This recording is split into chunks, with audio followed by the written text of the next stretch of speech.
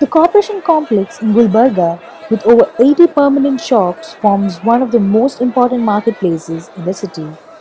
The market, that has been here for more than 50 years, is now at a state of displacement. हमको वहाँ जाकर shift करने को paper करने के वास्ते पेपर करने के लिए वो वो गवर्नमेंट बंद को रखे सब हमारे वास्ते और तुम डायरेक्ट लो हाँ direct We have been asked to move to another location. The government gave us a notice. We have to move within three months' time, that is by 26th February. There are 80 shops here and it will cost us 3 to 4 lakhs to shift. This is way too expensive and we are having a court case on this issue. 26 April.